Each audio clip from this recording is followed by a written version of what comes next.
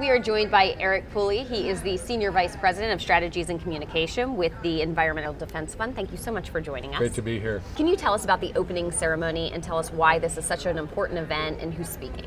Well, when you look at the caliber of the speakers that have been drawn to this event, you really see what a great convening it is and the kind of clout that NEHA has in the community because you've got HUD Secretary Julian Castro coming you know, former mayor of San Antonio, and a man who, as the as the uh, Secretary of Housing and Urban Development, uh, has an extraordinary clout. And that's just the beginning.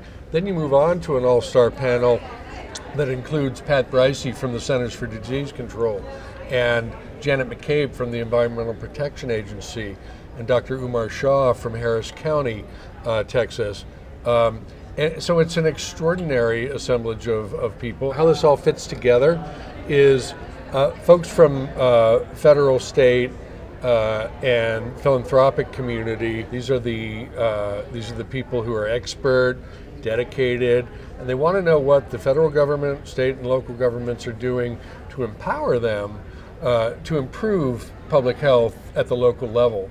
So my goal as a moderator of, of these panels is to deliver that information.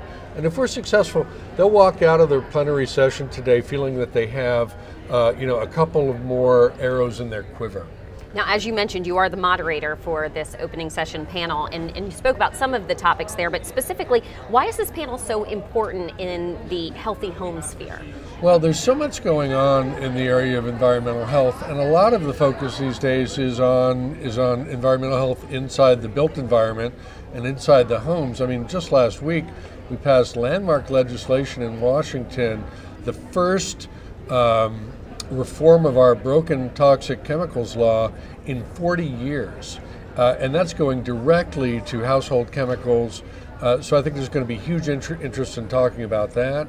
Uh, there are issues like lead that have been in the news, radon, uh, issues of climate change, uh, air pollution, and environmental factors that drive uh, conditions like obesity and asthma. Uh, so it's a very broad set of issues that are of concern to the attendees at this conference. Um, and so the frame that we're putting over it is multi-sectoral cooperation, federal, state, and local working together to try to do something about a broad range of, of issues. All right, Eric Pooley with the Environmental Defense Fund, thank you so much for joining us today. Thank you.